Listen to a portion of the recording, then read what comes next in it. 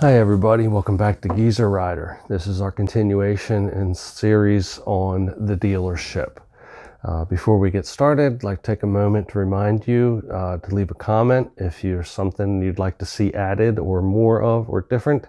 Uh, give it a thumbs up if you like the video, it's greatly appreciated. And by all means, please subscribe, hit that bell. Um, you'll get notifications when we put up uh, new videos.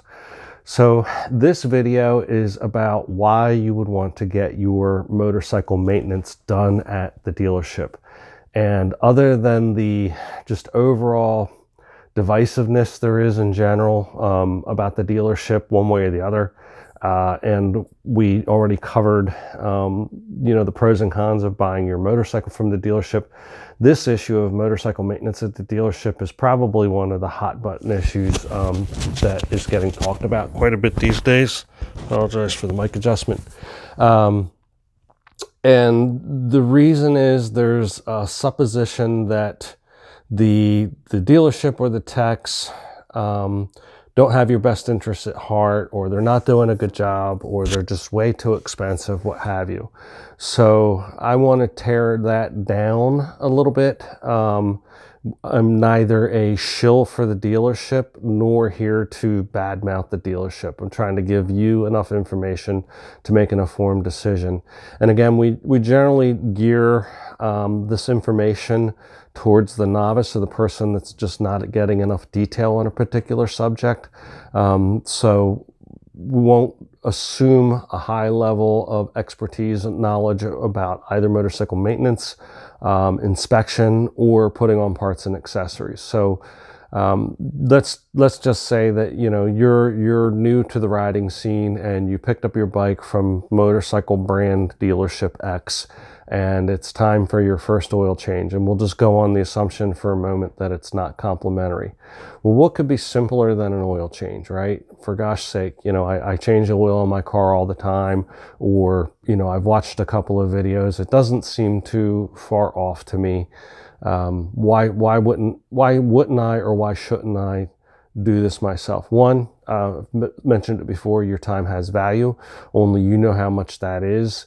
Um, so sometimes it just doesn't make sense to do it yourself. You know, you drop it off at the dealership, you go shopping for a while or pick it up the next day, or even if you wait for it, you know, maybe you can do a little little work um, while you're waiting for it in the waiting area, something like that, or or browse the dealership while you're waiting for it. Um, the other reason is the warranty on the work and the warranty on the parts. So, you know, we just used the example of an oil change. If you if you had an oil change at the dealer and you had an oil related failure, you had a warranty claim, doing the work yourself, um, there are laws in place and they're national that say, you know, doing your own oil change doesn't void the warranty, but it has to be documented. And different manufacturers have different requirements for documenting the um, the oil change. So generally what you need is a receipt for your oil and your oil or oils and your filter and any O-rings or gaskets or anything goes along with it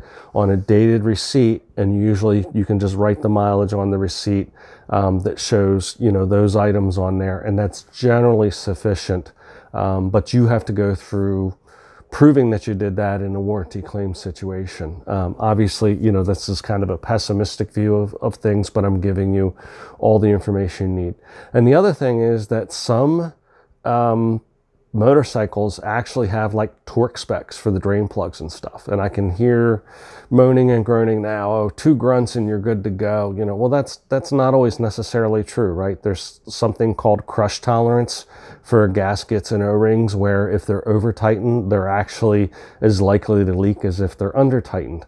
So they may have a torque value and you are, you know, living alone in a, in a studio apartment with no storage space, you don't have anywhere to keep a, a wide variety of tools. Do you have hex keys and hex sockets? Do you have Allen keys and Alex, Allen sockets? Do you have a torque wrench? Do you know how to use it? Is it at the right range? Um, yeah, I got a torque wrench. I use it on my car. Well, great. This isn't going to fit into every nook and cranny on your bike. Look at the area that's free around your swing arm and look at the area that's free around your engine compartment. Look online and see what bolts and nuts on your bike have a torque value and know that this might not fit in that tight space. Also, this is in foot pounds and newton meters. You might need inch pounds. Um, so then you get a smaller one. Okay, well, this is tinier. I'm likely to be able to get in here. Do I have um, quarter inch drive nuts and, and drivers that I can put on this that are going to fit my bike? And does this value go up high enough, um, lower than the the big torque wrench, but um, higher than this, you might need to go to a 3 8 inch drive. So you can start to see how specialty tools might start to come into play that you may simply not want to invest in, especially if they're for a particular type or year of bike or particular model bike that you might not stay with for a long time. You could wind up with a toolbox full of tools that are no longer used for servicing the bike that you own 15 years from now, for example. So that's something to think about. Um, the and and by the way the, the torque wrench you generally want to use within 15% or 10% of either end of the range for a mechanical torque wrench. Digitals are a little bit good digital ones are a little bit nicer but you generally don't want to take this thing and oh it stops at 10 pounds. Well i'll just back off five clicks and that should be five pounds. It's, it's not going to be guaranteed to be accurate that way. Also there are a lot of things that a mechanic knows or somebody who's been doing things a long time knows that might not be self-evident aka the torque wrench for example. If you have a bolt that's recessed and you have to use an extension the value you set for the torque on here is no longer accurate. You have to put a loss factor in for the um, extension uh, of about an, a pound or two of torque because there's some slop in that extension. And while, you know, most torque values are a range from one to the other, if you're a person that says, well, I'll put less torque on it because that's less wear and tear, and I think I'm going to be doing this particular item over and over again, you and you put it at the minimum value on your torque wrench and use an extension, you could actually under torque by a couple of foot pounds, for example. Um, and that, that's something that's just not always self-evident. And that's a, a, a, particular bullet point. That's an item that's not always shared in these, these maintenance videos, right? They're assuming a certain amount of expertise, or sometimes the person that's making the video is well-intentioned. They just don't know themselves. Um, and yeah, that's really nitpicky, right? I mean, we're talking about a couple of foot pounds, but you don't know what you don't know. So the dealer, you know, the, they have factory trained technicians or they have technicians that have been through some kind of, you know, motorcycle um, school like the automotive, I think ASE equivalent, you know, motorcycle type school. And then they have training from the factory as well. Um, I've mentioned a couple times I used Harley Davidson just for illustrative purposes because that's what I have right now and that's top of mind and I can, you know, illuminate a particular item. So I will use that right now. So modern Harley Davidsons have a proprietary um, computer system. I mean, they use a CAN bus. If you don't know what CAN bus is, just Google it. It's like OBD in your car. Um, and that's the computer, that's the brains of the operation. And Harley has something referred to as digital technician, where they can get codes out of the computer for faults, like a bad oxygen sensor, often referred to as an O2 sensor. Um, you know, if the gas cap is loose, if the emissions are off. And they can also adjust things regarding your stereo system. For example, if you have a, a you know, a tour bike or a bike with, with a factory uh, stereo system on it. That's something you don't have that they have and they have all the specialty tools. They have a lift. They can get the thing in the air. They can see things that you don't have. Um, things like maintaining your belt or chain tension and rear wheel alignment. Yes, it can be done um, on your own. Um, you're going to need a torque wrench as, an example, of specialty tools. And it's not something you want to get wrong. There's something called thrust angle that's important and greatly affects handling and tire wear and also braking efficiency. So there is a safety issue there's an outlay of tools cost issue. There's knowing what to use and the value of your time. So when you when you go to the dealership and they give you an estimate for some kind of work, um, they're using approved fluids, they're using approved fasteners, they're using um, the right tools for the job so that things are tightened and or adjusted properly and you have a guarantee for the work should you have an issue later that you've got one throat to choke and it's not your own you get to go back to them and say hey you know You've got 30 day warranty on the work. It's 27 days ago I had this work done here. I think this is related to that work and something's not right. A reputable dealer, and we talked about establishing the relationship with your dealer in, in, the first video, the overview of the manufacturer's dealership. So if you have that relationship, you should be able to go in there and have a conversation, not yell at people, you know, but go in there and have a conversation. Yes, it's inconvenient, but this is nothing you're you haven't dealt with with a with a car, right? Going to a car dealership or an independent mechanic. Sometimes the replacement cells replacement parts themselves are faulty. That happens. There's something called high infant mortality. If you are an actuary or you're somebody that does reliability studies, you know about this. So there's three three ranges of um, failure modes for any replacement part or original part. There's high infant mortality where it dies almost immediately. There's middle of the road where it doesn't meet its expected time uh, hours of operation or mileage in use. And then there's um, the replacement lifespan, where usually they will say, hey, this needs to be replaced X amount of time, engine running hours, or miles before it becomes a critical failure point, especially if it's a safety item. So that's the other thing. They're going to do an inspection of the bike and they're going to say, hey, you've got 30% left on your brake pads. And everybody goes, well, that's ridiculous. I can still ride around with 30%.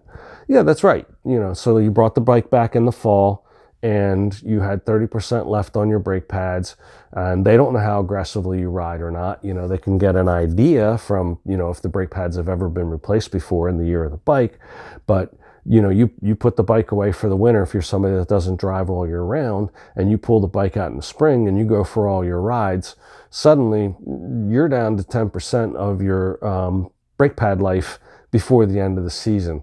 That's that's marginal. You know, you really don't want to stay there. Um, there's a variety of things that could cause them to to wear a little bit quicker, um, and you have uh, heat transfer that builds up as the backing plate gets closer to the rotor. There's there's a lot of physics um, going on there. Again, we're talking about percentages of, of a percent in, in, some cases, but these are things that the dealer knows. And yes, they are out to sell you goods and services. That's their job. That's why they exist, but not always to your detriment and their benefit. They want to keep you safe. They want you to come back and buy another bike. They want you to come back and get more service. They want you to come back and buy more parts and or accessories. It is in their best interest to treat you well, right? Um, that's, that's just a good business model. And what I tell people mostly is, you know, especially those that are just convinced that all dealerships are evil, I say, well, then do what I do anytime I'm shopping for anything, goods or services. Vote with your dollars. Create your personal blacklist if that's going to, you know, be the way you remember things. And if you have a negative experience that you don't think can be overcome, um, either because the the other party just won't negotiate or remediate or remedy this situation, or the way they went about it just didn't agree with you, right? You know, they just had a really bad attitude. And hey, this is you know a ride. This is my zen. I want it to be nice, right? I want it to be a good time. It shouldn't always be a hassle but with your dollars, just simply find another dealership. You know, um, I know some people are in really rural areas and it's a, a, long haul and a hassle just to get to the one that's closest to them. I hope that you have a good experience with them. Um, you know, what I will say in those particular uh, instances is that you often will receive a survey. The one from the dealership maybe only goes so far. They'll turn in the good stuff to get their kudos from the manufacturer but the ones that come from the manufacturer, those programs are monitored. Those programs are addressed. And if you have an issue that you can you can substantiate, you can say, this is exactly what happened, and I don't feel I was wrong. You can see here I was wrong. Um, you can affect a change for that dealership. And the dealership, the back office, should recognize that that's an opportunity for them to improve and do better and ultimately help themselves right?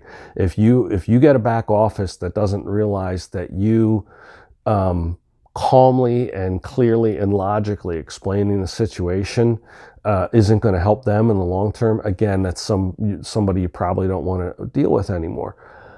I found in general most dealerships are pretty darn good. You know, if you go in there with a chip on your shoulder, you, know, people are human. You're going to feed off each other. You know, if you if you just start off all negative, um, And occasionally you're going to get a bad part or you're going to get bad service. There'll be, you know, a, a bad tech that happens. But tell me any service industry or any retail industry where that doesn't happen from time to time how do you handle that? You know do you go online? Do you go on yelp? Do you you know shout from the highest treetop? And do you just say i'm excluding all these people you know?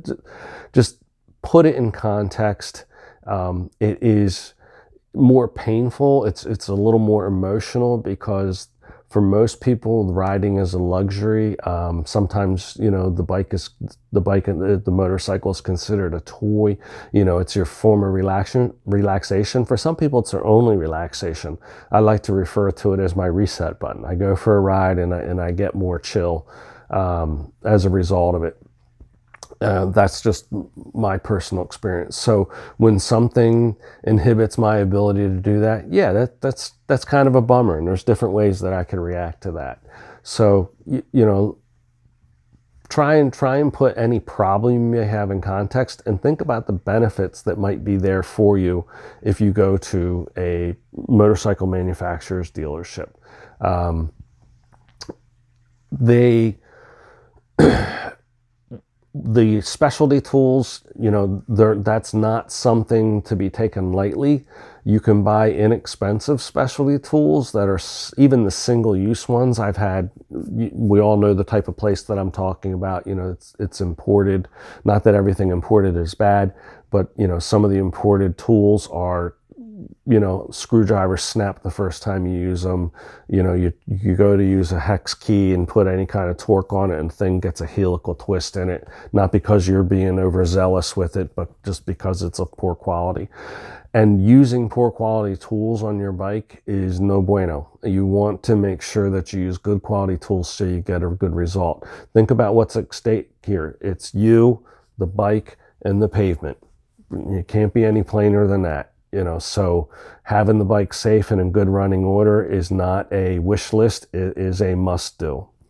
Um, so the manufacturer's service department you know the dealership service department also knows the service intervals that uh, you know a shade tree mechanic might not know or just might not want to perform. You know steering head bearings depending on what kind of um, bike this is so the where the handlebars come down to um, the front end of your bike. That's called a triple tree. And there's that tubular thing in the middle. And at the top is a set of bearings and bottom is a set of bearings, depending on how the bike is built. But in general, that's that's what's going on. Those steering head bearings have to be lubricated and adjusted at periodic intervals, and usually at least once after the bike is new. So that's another reason you want to go to the dealer. You, you know, get that done. A lot of times that's complimentary. Um, you can build up you know there's reward and loyalty programs at the dealership you know if you spend X amount of money in services, we do something for you or we give you something. You won't know unless you inquire. Um, and I think I mentioned before in one of the other videos, the last thing you want to do is be reassembling your bike or completing maintenance on your bike the day before or hours before you're about to leave on a trip, long distance, you know you need to do a thorough test drive in an area where you have great familiarity and you can somehow get the bike back to home base uh, after any kind of accessory add or um, mechanical maintenance of any kind or you know any any work that you do on the bike. Uh, you need to know if you have an electrical issue you need to know if you have a mechanical issue um, safety issue, if you've obscured your visibility, if something in the instrument cluster is no longer working, um, in your hurry to get this done and get finished that packing that you've been putting off for the trip, you might overlook these things. And that is just a recipe for disaster.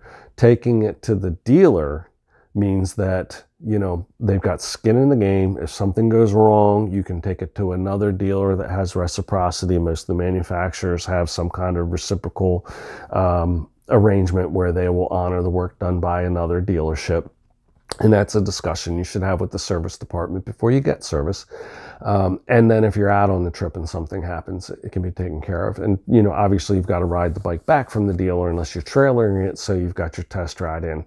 Um, obviously that could be resolved by planning well ahead and doing work yourself. But if you find yourself in a pinch point where there was just something you forgot to do, then so be it. Um, and just doing the job neat and tidy. There's a variety of funnels and things, and you know the dealership generally has like um, lined cloth bags to put your fenders in, or your seat, or your fairing, or your windshield to protect while um, you're working on the bike and you're not cluttering up your garage bay or parking spot, you know, while the bike's torn apart if you need to wait for a part. And that's another thing. The dealership doesn't always have every part in stock that they need to do the work on your bike, but they're probably more likely to have it than you are. And even with today's, um, you know, quick quick turnaround time on, on delivery, you're still talking about at least waiting an overnight if you haven't already figured out that you need a part or a gasket or an O-ring or seal or whatever it may be. So that's that's another advantage to the dealership. So I hope this has given you a an, an idea of a couple of things. One, how you might not be equipped um, as far as tools are concerned to perform the maintenance on your own and also that the knowledge and the skills might not always be there for every job. And you want to be 100% sure that you know what you're doing um, anytime you work on your bike for, this, for the safety concerns we mentioned earlier. Um, again, you don't know what you don't know, and not every video you're going to watch or tutorial or you know book or instruction manual is really going to have all the information um, that you need. You know, I've seen some pretty glaring over glaring oversights over the years, which just you know left me scratching my head, like how are they even getting away with this? um, you know, or, or, why would they purport to know something about this um, when they're leaving out such big items? Um, and, then, and that's the other thing is, you know, you're you're like, okay, well, great. You know, you're you're you're dinging me for not having skills. How am I going to get skills if I don't do the work? Valid point. At some point, you're going to have to do some of the work. So, you know, start off with a thing that is going to be the most common maintenance that you're going to do on your bike and that is an oil change. And that varies from motorcycle to motorcycle. Some have wet clutch, some have dry clutch, some require additives, some have, you know, just oil and it's a shared crankcase. Others have, you know, oil and they have uh, transmission fluid. On the Harley, there's something affectionately referred to as a three hole oil change. Um, that's not a derogatory term, it's literal. There's actually three different areas of um, fluid that need to be checked and changed at particular intervals. Um, it can be a messy job, and there's particular special little plastic um, funnels and fillers and thing that help make the job easier and neater. It's not that you can't do it without them, but that it just makes your life a little bit easier. So figure out for your bike what's needed get when when it's out of warranty and you're out of complimentary oil changes and everything you know and you may develop such a great relationship with the service department they'll they'll let you watch an oil change. I don't know some some um, departments won't even let you in the back for insurance reasons et cetera. And some of the others like yeah come on back you know because they know if you're not bringing in for an oil change you're bringing in for something else. And if they're smart they'll tell you something that's valid. You know don't forget to come in and get the thing checked out from time to time for us to find things that you've overlooked. And as they point out things that you've overlooked, you'll know to look for that the next time you do an oil change, and you'll slowly build up your skill sets over time if you choose to work on the bike yourself. Um, we'll do another video about third party maintenance uh, along with the third party purchase of the motorcycle and purchase of parts and accessories. But for now, you know, we're just talking about the dealership and um, getting your work done there. So the downside of having the work done at the dealership, if you already have the tools, if you already have the knowledge, and you already have the time, is the cost. The cost is generally not insignificant. And we and the overview for um, the motorcycle dealership in general. We, we talked about their overhead and, you know, the fact that they are not the evil empire. What they are is a business that's trying to make money and pay their employees and, you know, give them dental and health care and everything, just like any other business. Um, they're not trying to turn you upside down and empty your pockets and your wallet. They're just trying to get the job done the right way, which costs a little money, and you know, pay for the work, pay for the people, and pay for the parts and everything. So, you know, yeah, I can go online and buy some oil that doesn't have the factory logo on it for a buck less a quart or two bucks less a quart or whatever it is, or the oil filter or whatever. Um, but we already addressed why you might want to use um, their items and why even acquiring that stuff uh, there's certain circumstances where you, know you could be putting yourself in harm's way if you don't document everything you do, uh, or you don't um, you lose that documentation later on and you need it for you know a claim of some kind. Um, the other thing is kind of making a positive out of negative recalls, right?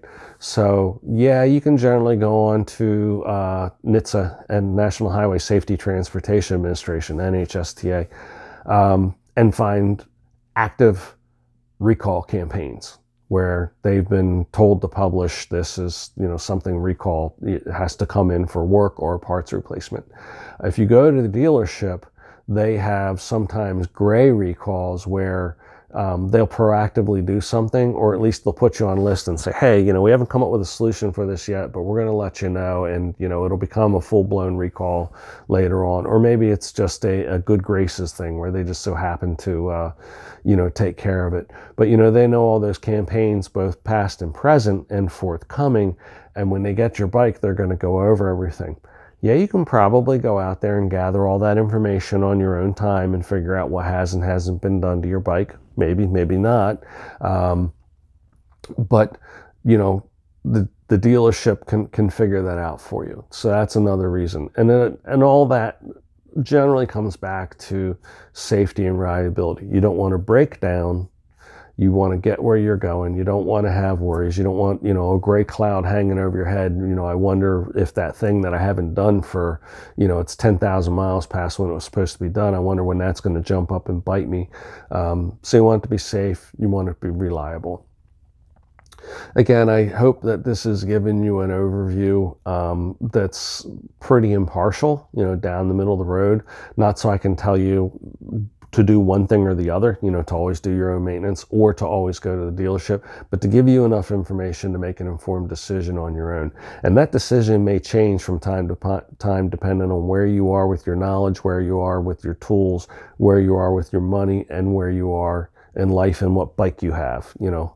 Um, so once again, ride safe. Namaste.